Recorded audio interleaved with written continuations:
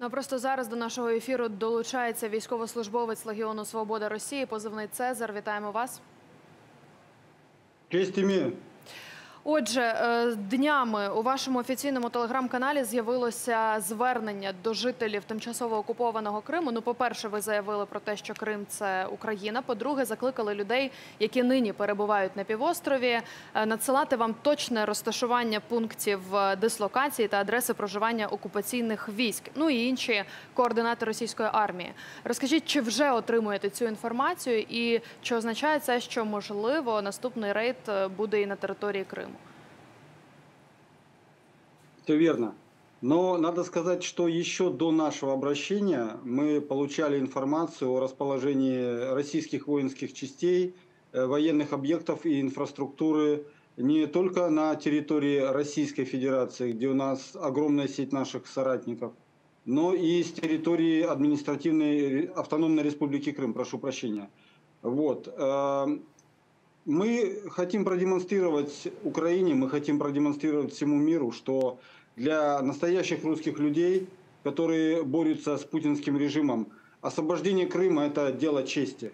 Оккупация Украины началась с оккупации Крыма в 2014 году. Это то э, сомнительное политическое достижение, которое Путин считает венцом своей политической карьеры. И для нас, как для настоящих русских, как для хороших русских, дело чести помочь Украине освободить Крым и принять участие в освободительной операции. То по з приводу Криму, ну якщо ви не бажаєте розповідати про свої плани, то гаразд, ми це зрозуміємо. Але чи варто очікувати появу РДК е, Легіону Свободи чи РДК, якщо ви з ними співпрацюєте, на тимчасово анексованому півострові Крим? Да, мы обязательно там появимся. Если мы что-то говорим, мы обязательно делаем. Мы анонсировали миротворческую операцию в Белгородской области, которая сильно устала от войны, которую обстреливает российская армия Белгородскую область, бомбит Белгородскую область. И она сейчас продолжает это делать. Все, что мы говорим, мы рано или поздно делаем. Чи очікували ви, що під час ваших рейдів на Білгородщину е, вам практично не чинитимуть спротиви? Про що це свідчить на вашу думку? Это говорит о том, что хотя армия Российской Федерации, ее силовики и военно-политическое руководство хочет оказать нам сопротивление, оно не может этого сделать. И опять-таки они стоят перед дилеммой перебрасывать туда э, части, хорошо подготовленные, имеющие боевой опыт, оттягивая их с важных направлений, либо бросать туда мобилизованных и, или какие-то второстепенные силы. Э, поэтому там наблюдается паралич управления. Уже больше недели продолжается наша операция. Вы видите, что серьезных успехов у российских силовиков нет. Еще вопрос, чем закончится операция и как долго она будет продолжаться. И естественно, что эта военная ситуация, она будет создавать политический кризис в России. Местные жители видят, что они не нужны власти, местные жители видят, что российская армия не защищает их, а уничтожает. Э, хочу сказать, что я шел в составе самой первой штурмовой группы. Передо мной э, частей русских добровольцев не было. И мы уже заходили в разграбленные российскими военными дома, понимаете? Это дома, которые разграбили сами мобилизованные кадровые части. И когда мы брали пленных, мы видели, что там не только жители отдаленных областей. Там были и сами белгородцы. То есть белгородцы грабят белгородцев вместо того, чтобы их защищать. И это показывает, э, какой низкий уровень морали э, в российском обществе, до чего оно деградировало при Путине.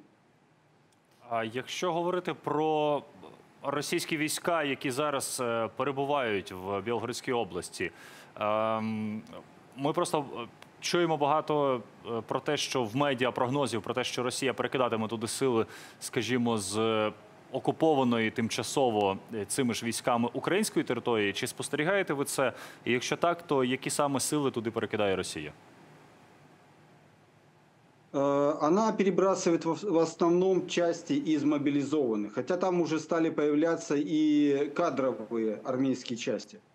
Но нас пугать, собственно, нечем. Э, э, тиктокеры, кадыровцы нас не напугают, они в принципе там не появятся. Вагнеров мы полгода успешно утилизировали под Бахмутом, и никаких проблем с ними у нас не возникало. Нам там некого бояться, тем более на своей земле. А до речі, з приводу одне уточнення. Ви сказали з приводу кадирівських військ, його приватної, напевно, якщо можна так казати, армії. Е, Багато заяв було і від нього про те, що вони візьмуть під контроль чи там допомагатимуть, якщо місцева влада цього не робить. То вони поки що там не з'являлися. І якщо з'являться потенційно, то ви готові. Конечно, готовы. И есть очень большие сомнения, что они появятся там в принципе. За полтора года, ну, скажем так, за год с лишним войны все прекрасно видели, что от слов Кадырова про Киев за три дня э, до каких-то реальных успехов на фронте между этими э, э, вещами есть огромная пропасть. Вот. э, Он бережет своих солдат, он бережет э, этнических чеченцев для будущего передела власти в России, это понятно. И даже те подразделения, которые подчиняются Кадырову, они на 90% состоят из э, русских и других этнических граждан России. И только 10% там чеченцы. Поэтому он уже прекрасно видит э, итоги этой специальной военной операции и точно так же, как и Пригожин, смотрит в будущее на передел власти в России. Это его основная задача в будущем. Пока он внешне сохраняет лояльность, но не надо обманываться, для чего он собирает военную силу. Так, зрозуміло, дякуємо. Е, Позивний це зараз військовослужбовець Легіону Свободи Росії був разом з нами наживо. Розповів про